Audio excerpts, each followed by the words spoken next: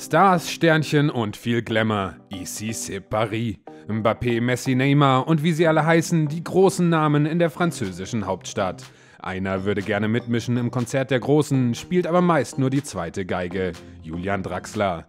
Neuer Trainer, neues Glück. Mitnichten. Es folgte die wohl größte Demütigung seiner Karriere.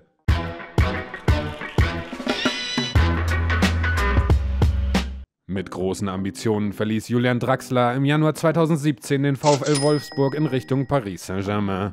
Zusammen mit der Ablöse, die Schalke damals vom VfL kassiert hatte, avancierte er so zu einem der teuersten deutschen Profis der Geschichte. Der rasante Aufstieg und die hohen Summen ließen aufhorchen, eine Traumkarriere schien vorgezeichnet.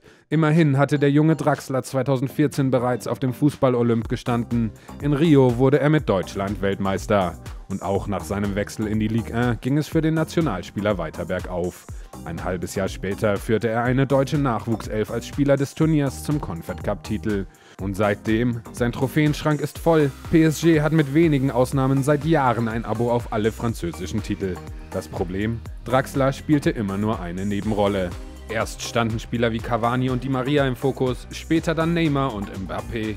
Doch der Gladbecker wollte sich in Paris beweisen. Sogar als der FC Bayern ihn im Sommer 2021 holen wollte, verlängerte er lieber seinen Vertrag bis 2024.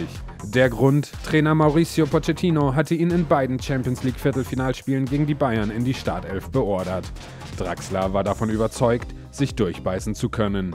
Tja, doch erst wechselte ein gewisser Lionel Messi in den Parc des Princes. Im Sommer darauf entschied sich Kylian Mbappé dann doch gegen Real und dafür, in Paris zu bleiben.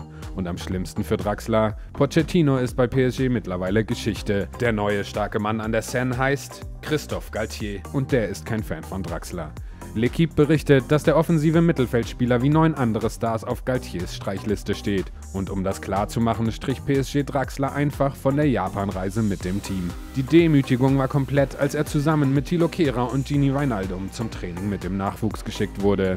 Momentan also Trainingsgruppe 2 für den Deutschen, der einen Ausweg sucht.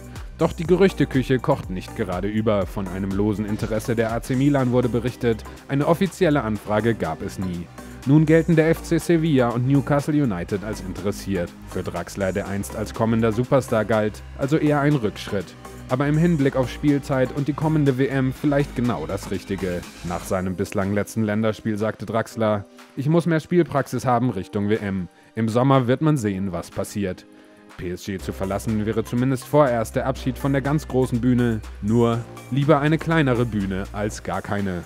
Und jetzt seid ihr wieder dran. Was würdet ihr Draxler raten? Sollte er sich bei PSG versuchen oder doch lieber das Weite suchen? Schreibt es uns in die Kommentare und gebt uns einen Daumen hoch, wenn euch das Video gefallen hat.